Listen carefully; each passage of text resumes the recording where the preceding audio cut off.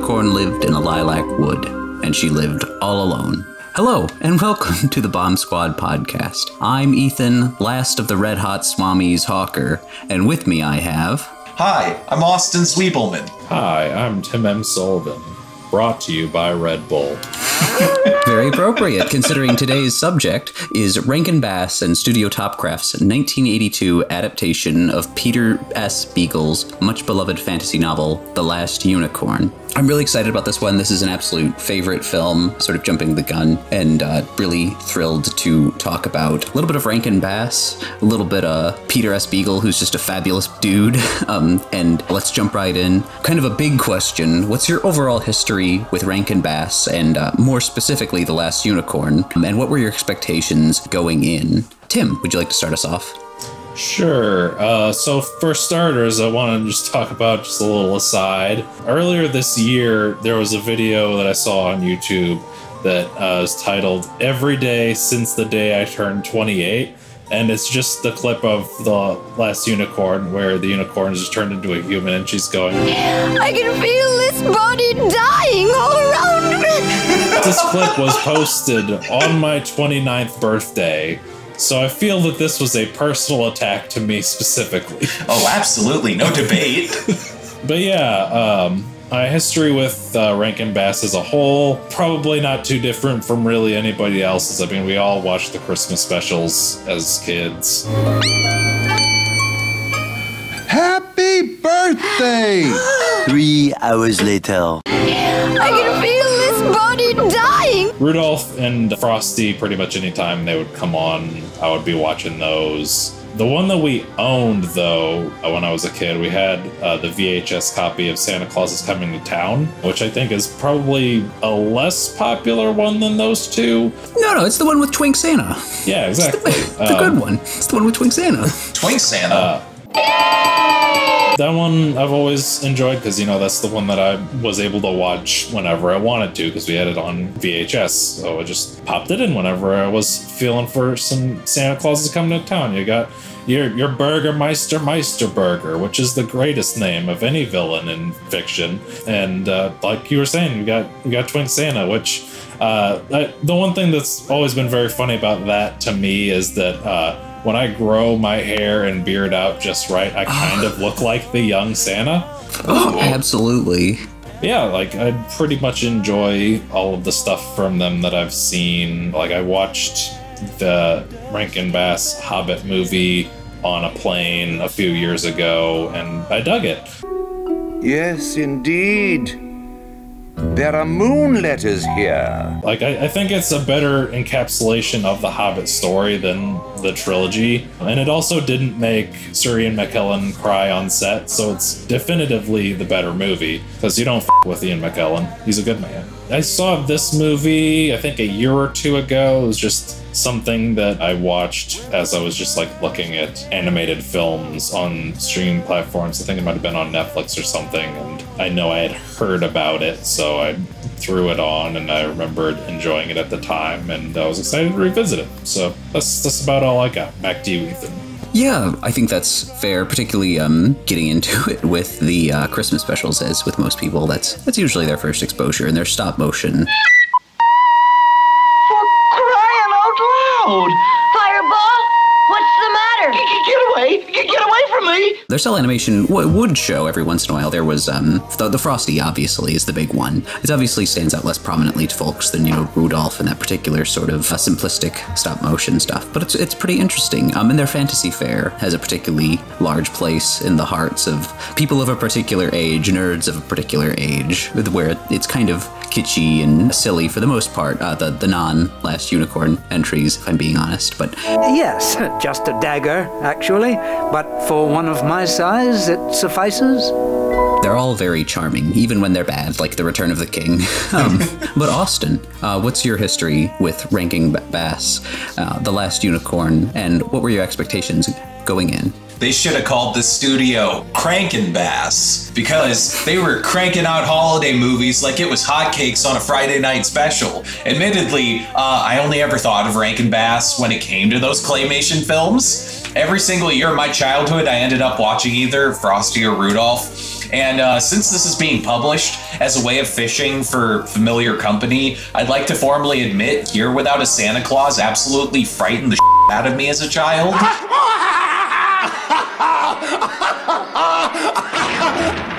He shot me in the ass. Something about the Heat Miser? I can't quite remember. But the knowledge that they've made 2D stuff is a recent discovery from like researching this podcast. I'd forgotten their Lord of the Rings adaptations because Ralph Bakshi's film overshadowed them so thoroughly, and never in my life had I paid any serious attention to The Last Unicorn. As for expectations for this movie, uh, the general reputation it seems to have is that it makes people profoundly upset. I had heard from Ethan and some video essays that it's a heavy film, so my first viewing of this was very tense. I imagined every possible way that this could end tragically and teared up at various points in anticipation of what was about to maybe happen.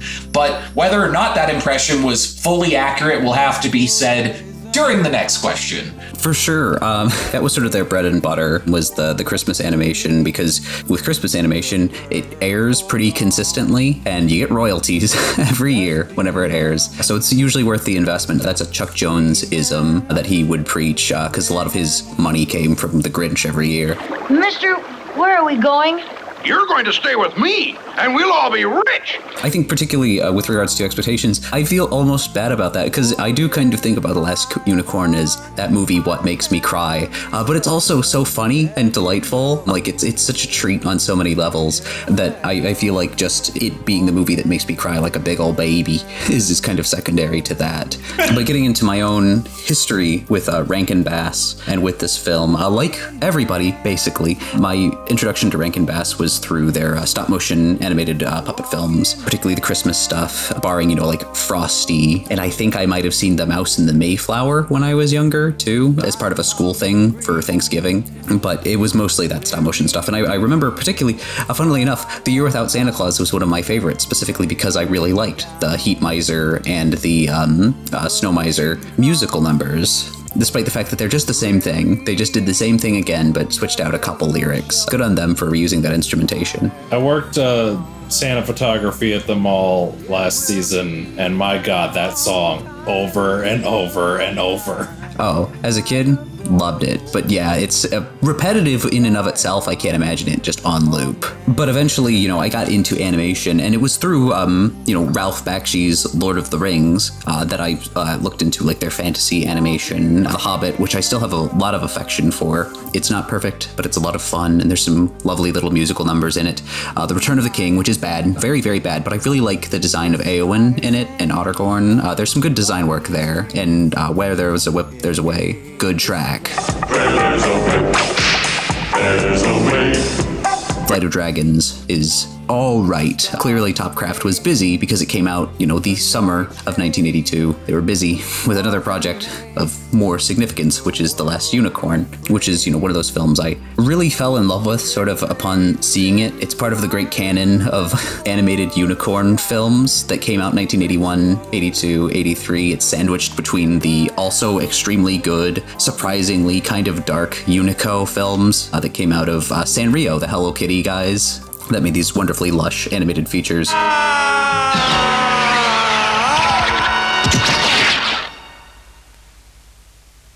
But The Last Unicorn is maybe a bit more whimsical, a bit more authentically magical than them. I kind of expected it to be better than like The Hobbit and that sort of thing, but not by a wide margin. Um, I thought it would be like a lot more polished because it's feature animation and not, not a television special, that sort of thing. Um, which leads us to, of course, our overall thoughts on the film as a whole. Tim, do you want to lead us off here? Movie good. Yes, movie good. Love movie good. But yeah, the revisiting it, I think I enjoyed it a little bit more than I did whenever I first watched it. There's a lot to like about it. Like going into it and seeing that it's rated G and then experiencing the movie is like such a crazy whiplash. like there's so much violence and talk about death and there's a harpy with three titties. Like there's some swearing and I'm just like how was this rated G in 1982? Like there's some crazy PG movies in the 80s, but like damn, this one is a heavy hitter.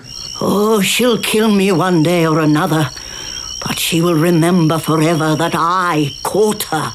So there's my immortality, eh? I think the character of the unicorn is sympathetic. Like you, you see her going through so much. Like she's, you know, the last of her kind, and then uh, suddenly she's transformed into a human, and she, again, she feels her body dying, and slowly starts to, you know, grip with mortality. Like it, it deals with a lot of heavy stuff, like heavier than you would expect from a- an animated movie that, uh, you know, seems to be predominantly aimed at children. But yeah, it's just, it's a movie I think you can enjoy at any age with an open mindset. And I'm sure it's probably a movie that I'll enjoy even more on further viewings because you pay attention to it more the more you watch it. Um, and got some great performances by uh, Jeff Bridges and Christopher Lee. Always love hearing Christopher Lee in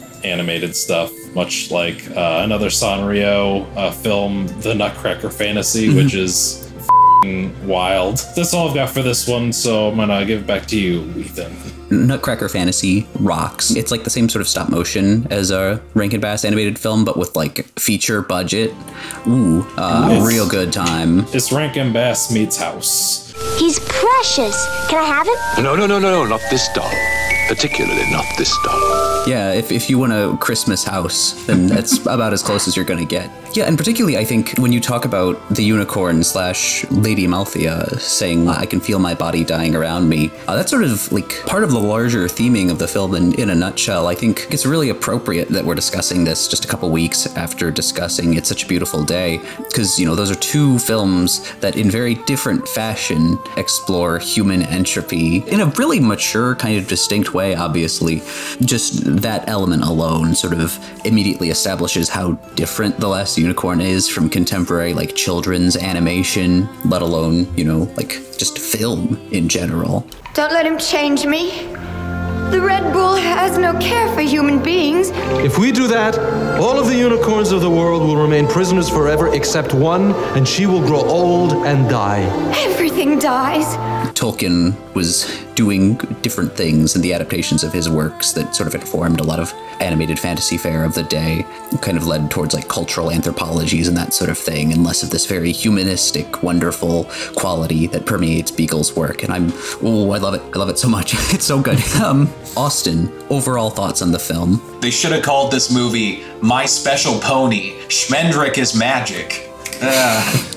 There's that uh, that camp of like weird looking 80s cartoons that were like deeply unsettling compared to that friendly type of product Americans expected in the massive shadow of Disney movies. You've got your Secret of NIMH, Watership Down, The Black Cauldron to an extent, even though they neutered my boy.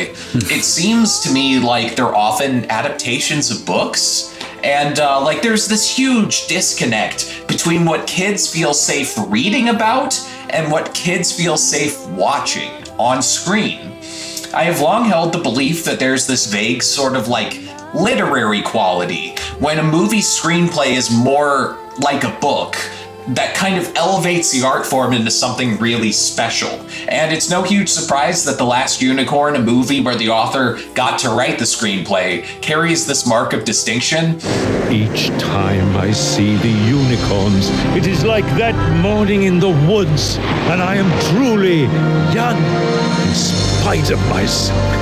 There's this fascinating trend where the characters in this movie carry a deep pain that can help viewers reflect on the nature of life itself. Like there's a magician whose only real desire is to wield a power that creates great and confusing consequences. Or like a woman who feels like a shell of her former self and finds exactly what she was looking for too late in life. Or a king that becomes unhappy no matter what he tries and only finds happiness when he steals something the world badly needs. It's just a remarkable story that feels like a, a real new fairy tale, even it's in spite of its like metafiction and its anachronisms. Even though those are things that restrict stuff like Shrek or Into the Woods from feeling like the genuine article, but not this. And it's so delightful to have a beautiful movie about unicorns come from the same production company that helped kids meet Rudolph and Frosty. those magical things that we like believed in as children, like they could be real somewhere far away. Stay where you are, poor beast. This is no world for you. Stay in your forest and keep your trees green and your friends protected. Famous fairy tales like Santa or unicorns, they make for excellent films, but the hard part is making a movie good enough to come across as an actual legend. So I guess in conclusion, I think The Last Unicorn is incredible mostly for its storytelling alone, but the other elements of production are good enough to keep this whole thing entertaining as a movie. Whether or not it's suitable for kids kind of depends on the kid, but I think for adults, it may help you discover a bit of your inner child. Yeah, I, I completely agree. I think the film is, uh, it's maybe a little tired to refer to a film as magical, but when you're you describe the Last Unicorn as such, it's in the real truest sort of core sense. It feels like a modern sort of myth, um, and Beagle really captures that perfectly. Um, the fact that he was so heavily involved in the production certainly helps. Um, though, by all accounts, um, Arthur Rankin, I believe, encouraged him very directly keep bits from the book in the movie. Like, don't cut too much stuff because we like this. This is why we're adapting this, which is nice to hear. I know you. If I were blind, I would know what you are. Who are you? I entertain the sightseers as they gather for the show. It's not much of a job for a real magician, but I've had worse. Yeah, it definitely feels like there's less of the sort of stuff trimmed that you would need for adapting a Tolkien. And even, you know, as I love the novel, you don't lose all that much from the source text. Like you you have a bit more insight and of course some fantastic lines, just really great writing from Beagle in general.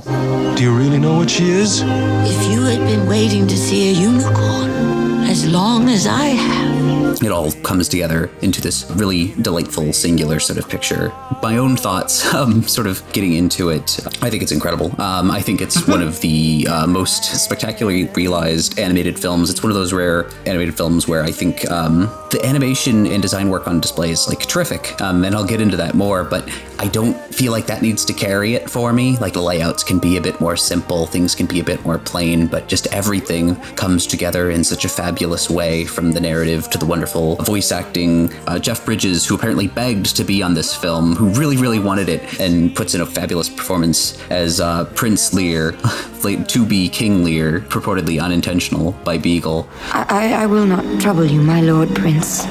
Oh, trouble me. Please, trouble me. Alan Arkin's Schmendrick. Perfect performance. We love a shitty wizard. A shitty wizard is one of my favorite archetypes in fiction, period. I'm a big Discworld fan, so Rincewind lives in my heart. Mia Farrow's Unicorn slash Lady Amalthea, wonderful. Tammy Grimes as Molly Grue makes me cry. That scene where she sees the unicorn for the first time and you hear her breath catch in her throat. Where have you been? I'm here now. And where were you 20 years ago? Where were you when I was new? When I was one of those innocent young maidens you always come to? How dare you come to me now when I am this? And, oh, pulling a Tanner here. Um, crying on cast.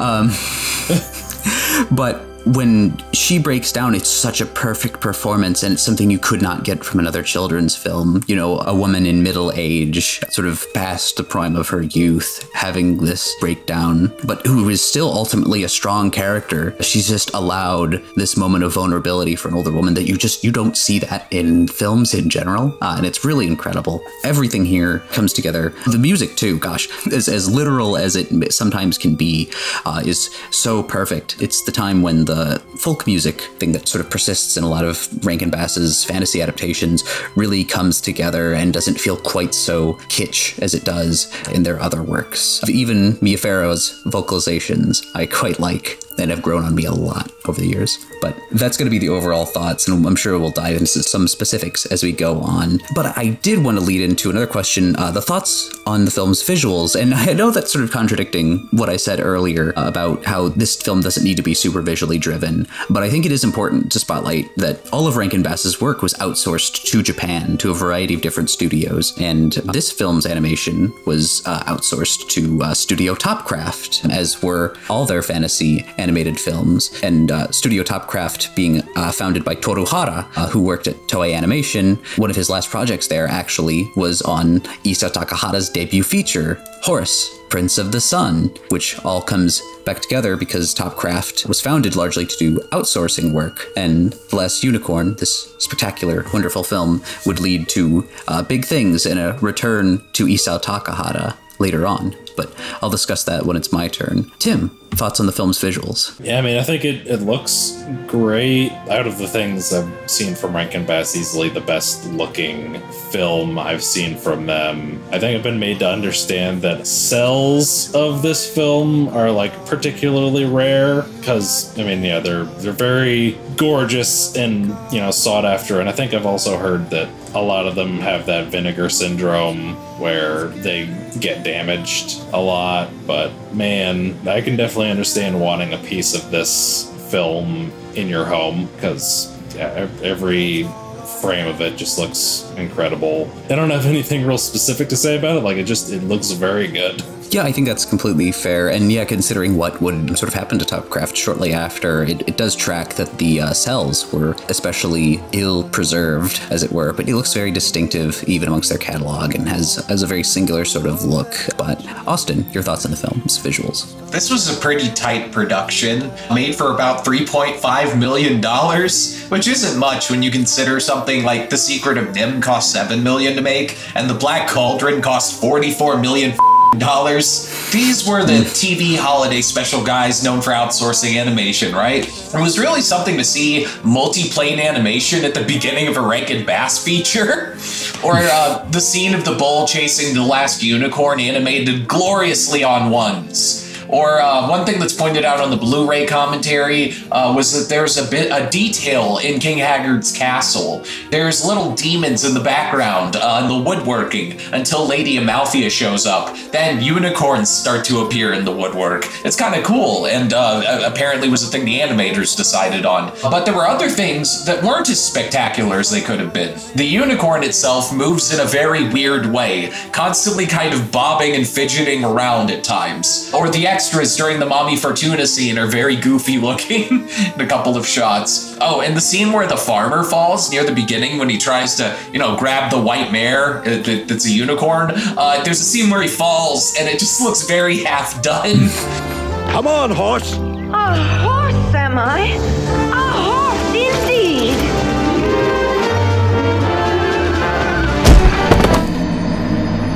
But um, it wouldn't be an 80s animated movie without a bunch of imperfections. I don't know if this would be the same movie if it looked like Akira. Uh, that weird low budget look sort of complements the more mature existential character moments. Yeah, I totally agree. There are definitely some elements, I, uh, partially that are derived from layouts. I'll cut the animators a certain amount of slack. Sort of the um, with with regards to the animation of the unicorn, it is a bit clunky at times, but her moving kind of unnaturally is not awful, all things considered. I mean, she's a bit different from a regular horse, uh, but more than anything, um, it's that animating a horse is sort of just the ultimate move of an animator. Like if you can animate a horse, you know you've made it. Like they got four legs, they move all funny. Edward Muybridge photographed horses specifically because their movements are so uh, and they're hard to understand. Uh, we weren't sure if all their feet left the ground at one time. Um, oh yeah, the Muybridge photographs were for him to win a bet whether or not all their feet left the ground. Exactly. Horses are freaks and they move all weird, but um, no, I, I, do agree that there are there are some idiosyncrasies, some odd bits and bobs, in uh, both the animation and the larger visual design. But I still have a lot of affection for it. It, it feels like there's a bit more editing going going on on Topcraft's part. They aren't adhering so closely to Lester Abrams' original character designs. There's uh, some some confusion about this too. Um, there was a poster set that was made by a company that basically immediately went out of business because they were bad. Like they cheated a bunch of people out of money and they didn't commit to all their completed prints. That was a big thing. But um, as part of it, they had prints of um, the original character lineups for this film, and they ascribed them who, to Hidemi Kubo, um, who was a key animator on the film. That's probably wrong. Um, in an interview on the Blu-ray, it's ascribed to uh, Tsuguyuki Kubo, who did continuity animation, um, which is a far more likely position for someone who would, you know, edit the character designs for a piece. Uh, that's sort of in the granular realm of trivia, but I want to ascribe appropriate credit um, to uh, Tsuguyuki Kubo for his work because I think he does a good job of editing, particularly uh, Amalthea's design. He gives her a longer face uh, than Lester's designs. Uh, the Lester's designs are kind of um, nymph-like, uh, like pixie-like, in a way that is feels magical but doesn't really complement her character. Um, and I, I, love Amalthea's the design work on her in particular. Uh, she looks really good, according to. Um, I, I want to say it was Arthur Rankin again. The edited design that uh, Kubo produced, like the initial concept he did, is not too dissimilar to um, Abrams's, but she has her out. Um, and so he described her as looking like an Asian whore. No! Which, not great, not a great look. Um, I think in the finished picture, she looks real, real good. Um, Schmendrick as well is a very good design. I love the movement of fabrics, and he's got a big, loose outfit, which very much complements his bumbling. I, Schmendrick the magician, forbid it, and be wary of rousing a wizard's wrath. Rousing a wizard's be wary of making a, a, magician angry. And the Red Bull, uh, again, ascribing appropriate credit to Topcraft. This uh, Red Bull in particular was uh, supposedly a Japanese design, as was the Harpy, that there was no real line art produced um, by Abrams for either the Red Bull or the Harpy. And I think uh, both of those designs are wonderful. I think Peter S. Beagle in the commentary says he doesn't love the, the Harpy design because he thinks it looks a little funky. He also doesn't love the, the design on the fur, the tree. He calls it vulgar. God, he's he's such a goof though too. I can't be mad at him because he just he immediately follows it up with I don't know. This all just happened to me. Like he just kind of stumbled into this fabulous story, and I, I appreciate that level of guile, understanding of how art is made. Basically, that sometimes you just stumble into a, a earth-shattering masterpiece that will change countless people's lives for the better. There's an effect they use for the line art, where frequently they use colored line art, like Schmendrick has uh, brown line art on his hair, I like that's a deeper brown than his actual hair. Lady Amalthea frequently uses, you know, like white and blue. Um, that always adds to just the overall ethereal quality of animation. It's a it's a hard trick to do. Uh, it's a bit more work, but I love it and it's super good. And apparently, other people thought this movie was real good um, because in uh, 1983, after this production wrapped, they were approached to work on an adaptation of Hayao Miyazaki's manga, Nausicaa of the Valley of the Wind, um, and would also get work on another film that we've covered here on the Bomb Squad podcast, Macross, Do You Remember Love, doing animation work um, on those two productions. Animation work that was so good that they would go bankrupt, but around half the staff remained, uh, and they would be purchased by uh, Toshio Suzuki, uh, Isao and Hayao Miyazaki, and would be reborn as Studio Ghibli, the animation company behind countless other magical fairy tales that have changed people's lives for the better. Which is a kind of cool story, um, bankruptcy aside. They went from The Last Unicorn, which kind of fits into the Ghibli canon as a whole. But that's the end of visual discussion. We're going to take a quick ad break, and then we'll be right back to generally discuss this picture. I'm waving, you just can't see it.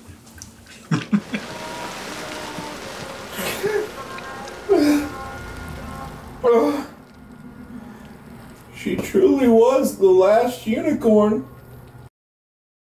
We're back back to discuss The Last Unicorn generally. I'm going to just lead us off by um, this is kind of a trivia thing, but I want to want to address the Bakshi shaped elephant in this room, uh, and that's Peter S. Beagle wrote a movie before this, and it was 1978's The Lord of the Rings, which apparently he was not happy with by all accounts. He also was not happy with all of Rankin Bass's output before this film. He said he hated it, uh, which I love, just that candor. He also wasn't happy with uh, the fact that America was doing some of the songs in this movie. America, a band that I know for Sister Golden Hair, and more famously, A Horse with No Name. He hated the, the band because I think it was his daughter had overplayed Horse with No Name in their house. And so he was like, man, f- America, this is Nickelback. Ooh. Yeah, I love that too because um, he knew Jimmy Webb was working on it, the composer for the film, um, famous for you know the Highwayman in particular. But he didn't know that America would be the one actually performing the, the vocal soundtrack. Um, so he, he very much says like, "I'm very glad I didn't know because I hated that god awful horse with no name." I was terrified to learn that the score was going to be sung by America because at that time I hated America deeply and profoundly. But uh, Jimmy Webb, by all accounts, loved the experience and uh, purportedly said that uh, the score for this film opened my work up to a whole new audience of seven year old girls. Which, Hell yeah. Yeah, I mean, get them while they're young, make them lifelong fans. At one point, ABBA was actually considered to do the soundtrack for this film, uh, which would have been very different, but delightful in its own way. Um, wouldn't have quite fit with the sort of folksy whole of the thing. I was wondering about Lady Amalthea's name because that's just one of those words where you're like, man, that means something. And I think it's like, you know, one of Jupiter's moons. But the actual place that it comes from is there's this legend of, I think, a goat who guarded Zeus from his dad on some island. And when Zeus got roided with God's strength later in his life, he accidentally done broke off one of the goat's horns and made the first unicorn.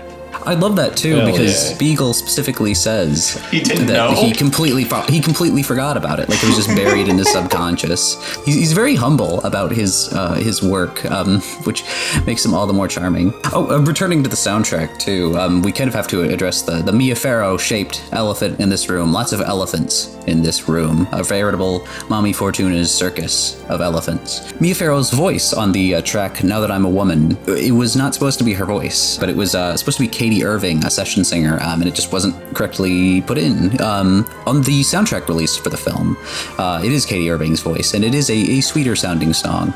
But I don't know, Mia Farrow's kind of wilting voice uh, kind of complements her being Lady Amalthea, the human form of the unicorn, someone who wouldn't have much vocal control or anything. You can still hear Katie Irving in the film singing on the track uh, with um, Jeff Bridges, which uh, is a bit better. Uh, Jeff Bridges similarly sounds a little rough, but that perfectly complements what he's going for. And I tried to write a symphony, but I lost the melody. This movie did Adventure Time before Adventure Time happened in so many ways. The unicorn and the bad singing. They just nailed it. This movie birthed Rebecca Sugar. She was conceived while her parents are watching this. I, I would not be shocked if, yeah, I feel like Rebe- Rebecca Sugar's probably a fan of this. It seems up her alley. Apparently, I think Peter S. Beagle's uh, cousin married a Spanish painter, and that painter made, like, you know, a, a work of art where there was a Red Bull charging a unicorn, and that could have been one of the places that he got the idea for that from. Kind of like how the whole thing with unicorns in him came from him uh, going to a museum in New York to look at tapestries of unicorns as, as a kid. It's a wonderfully impressionistic sort of painting too, um, which you know again sort of slots into this the overall magical nature of everything. Magical is the descriptor of the day. It's the adjective to which uh, you kind of are obliged to apply. I do wa- want to point out Mommy Fortuna's circus, despite like it's a delightful sequence in the film. Just the interactions between Ruhk as he's leading the carnival goers around and introducing them to all the animals. Here is the dragon, breathes fire now and then, mostly at people who poke it, little boy. the juxtaposition between their appearances and everything like it, it again hits all of that great balance of comic beats introducing us to the strange way magic functions in this world characterizing Schmendrick and the unicorn everything is into the service of this film's incredible tone um, which is great uh, but the one thing that is missing from the film version is probably my favorite line from the book period which is from Schmendrick as he's battling Ruhk and he starts threatening him with a series of curses. You pile of stones, you waste, you desolation. I'll stuff you with misery till it comes out of your eyes. I'll change your heart into green grass and all you love into sheep. I'll turn you into a bad poet with dreams. Um, that last line, I'll turn you into a bad poet with dreams, uh, is just firmly embedded in my brain. This is one of those endlessly quotable sort of films, one of those endlessly quotable sort of novels, and just a fantastic uh, piece of writing uh, from, from Beagle. I adore it. Rat soup. Again, rat soup. At least she could use a different rat the third night anyway. The cat. We've not discussed the pirate cat. Who has an eye patch even though its eye is fine under the eye patch? Why won't you help me? Why must you always speak in riddles? Because I be what I be. And no cat anywhere ever gave anyone a straight answer. Amongst other things, despite uh, being, you know, very funny, the cat appears at the end of the film. The cat survives the destruction of Haggard's fortress. At the very end, as uh, Molly is climbing onto her horse, you see the cat um, just barely past her, and there's a lump under her the back of her dress as she gets on, and it is the cat um, who Yay. thankfully survives. You love to see it. Scriptwriting 101, let the cat live. The- Another uh, great performance that we didn't get to talk about too, um, and I'll br- bring it up briefly, is um, just because it's such a great little sequence, is uh, Rene Auberjonois as the skeleton, uh, who they confront before going to battle the Red Bull and before um, Haggard learns for sure that the unicorn is a unicorn. Um, I love that performance by Auberjonois. Uh, I think the skeleton's a lot of fun. Um, I like that it, the skeleton gets flushed cheeks. Felt something in my heart when the skeleton said, But you're dead. You can't smell wine, can't taste it. But I remember. something about that. It's a very hammy skeleton, really just like taking the role for what it's worth. And then there's this one line that just kind of hits. Yeah, it seems like every single character just has at least that one line that really grounds and humanizes them in such a wonderful way. Barring maybe Haggard and even him, uh, there's something about his just violent apathy that's kind of that makes you pity him on some level. And I think that's that's wonderful. That's wonderful that I can feel feel bad for this horrible man. What are you looking at? The sea? Ah, yes. There is nothing that I can look at for very long, except the sea. The butterfly made me worried I wasn't going to like this movie because of how long the butterfly sequence goes on. Also, mm-hmm. I, I wasn't in the mode yet because the film had just began to consider something as complicated as like, oh, these are a bunch of old songs and quotes from Cyrano de Bergerac and all this this pastiche of shit that the butterfly is doing. And so I was just like, oh Lord, what's gonna happen now? But it's you you appreciate it more the, the more times you watch the butterfly scene as you slowly piece together where all those uh, things the butterfly says are from. It, I, I was kind of surprised at how long it ran when I revisited it too. Uh, it, it catches you off guard, but it's sort of I don't know the, the Tom Bombadil moment of the film. If we're going to make this analogous to, to Tolkien, where it's just like where did that come from? But it does integrate, I think, a little bit better with the overall tone. It's so because you know the whole film is sort of playful, even when it can be very dire. If you know my name, tell it to me. Your name is a golden bell hung in my heart. Say it if you know. Rumpelstiltskin, gotcha. and I like that it establishes that. I know, I believe um, Beagle has stated that the the butterfly is sort of an author surrogate on some in some capacity, and that his design was slightly based on him at the time. I like that he makes himself the annoying butterfly. And apparently, uh, Beagle has told translators just do your own thing because it would never translate into another language. Hooray for Hudson High and all those various references. It's just like do your own thing. Do your Polish version of that.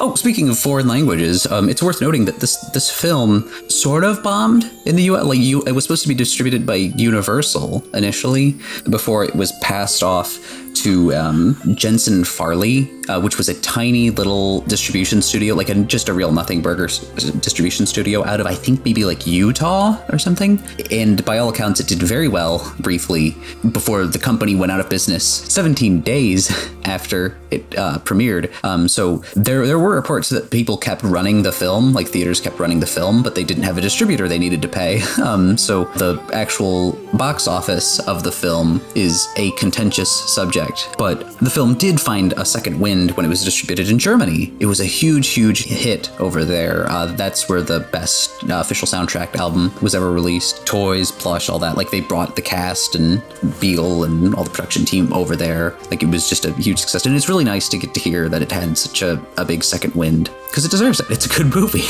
it's a real good movie. Then I think we can jump directly to our final thoughts on the film. Tim, do you want to lead us out here? I want to hear more from you.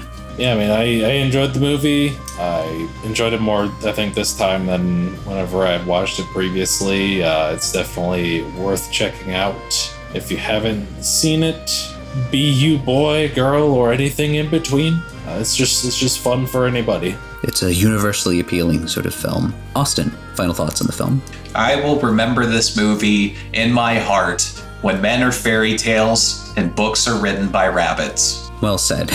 As always, my sign off is going to be I love this movie. I'm so happy I got to talk about it with you guys. It's really just always such a great thing. Uh, if I can gush, just being able to talk about these movies I like a lot um, in sort of a semi structured, formal manner with friends. Uh, and this one in particular is such, it strikes such a nerve with me um, on an emotional level, even, even more than those films where I feel like I close every podcast I host with I love this movie. It's so good. Um, but this one in particular is so so near and dear to my heart on such an emotional level. It informs so much of me, and I'm so happy I got to share it with you guys uh, more than anything. That's always such a joy. But uh, thank you uh, for joining us, viewers at home. If you enjoyed our episode on the last unicorn, uh, I invite you to click that like button, give us a subscribe if you particularly like us, and hit the bell icon if and you'd like. Uh, what are your thoughts on the film? Uh, do you have a particular favorite character, a favorite line? God, the film's so quotable um, preference, novel or film, or do you think that they're companions and work together very well, which is the correct opinion?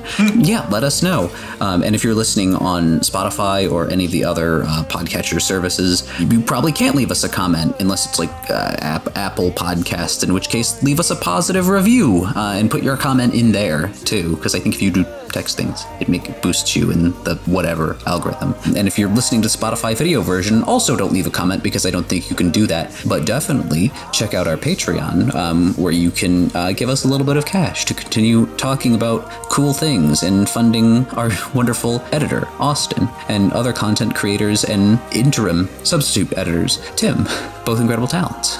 And that's that's enough with the plugs. Join us next week for our lovely sometimes substitute editor, oftentimes host, horror and anime fan, Tim, as he hosts Perfect Blue, the 1997 Satoshi Kon classic. And remember, there never is a happy ending because nothing ever ends. Take care.